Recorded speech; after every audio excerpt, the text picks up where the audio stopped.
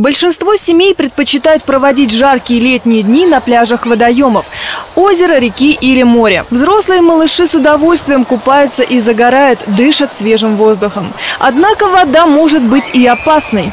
Чаще всего к несчастным случаям приводят дальние заплывы, купание в шторм, а также в нетрезвом состоянии. Неумение плавать вовсе, переохлаждение организма, разрывы надувных поддерживающих средств, безграничное хулиганство и отсутствие присмотра за детьми. Поэтому перед поездкой на место отдыха следует помнить следующие рекомендации. Не разрешайте купаться ребенку без вашего присмотра, особенно на матрасах или надувных кругах. Отпускайте свое чадо порезвиться в воде только в плавательном жилете или на рукавниках. Не позволяйте детям играть в игры, где участники прячутся под водой или их топят.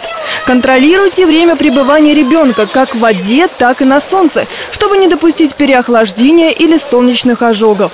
Такое правило, как не заплывать за буйки и нырять в неизвестных местах водоема, касается не только детей, но и взрослых. Недостаточное умение держаться на воде является лишь фактором, который вместе с другими причинами приводит к несчастному случаю. Зачастую малоопытные пловцы, попав в чрезвычайную ситуацию, теряются, стараются быстрее достичь берега, обессиливают и в конце концов тонут. Во время купания необдуманных прыжков или внезапного падения в воду можно получить сотрясение мозга, травмы черепа, черепа и позвоночника. Соблюдение всех перечисленных правил поможет не омрачить отдых себе и своим близким. Екатерина Страсветская, телекомпания «Одинцова».